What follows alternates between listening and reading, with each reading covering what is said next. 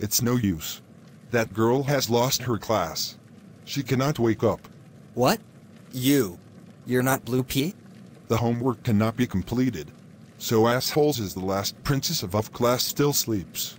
The princess? Bowles is a fucking princess? Yes. And without her power, the homework will remain incomplete it is time she a fucking awakened. Whoever the fuck you are.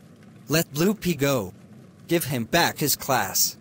But first, you must give the fucking princess back her class. Bitch. Fox. You stupid motherfucker. Don't you fucking see yet? The princess class is responding. IT has been there all fucking along. Bolt class rests within you. Bowl. Bowl is inside me? I know all that there is to know. And we come to ultimate characters. Tell me. Who the fuck are you? It is I, Ansem, the seeker of fucking darkness. So, I shall release you now, princess bitch. Complete the homework with your power. Give me the fucking homework, lead me into everlasting darkness. No. Fuck off. And forget it. You're gonna kick your ass. And there's no way you're talking bull class.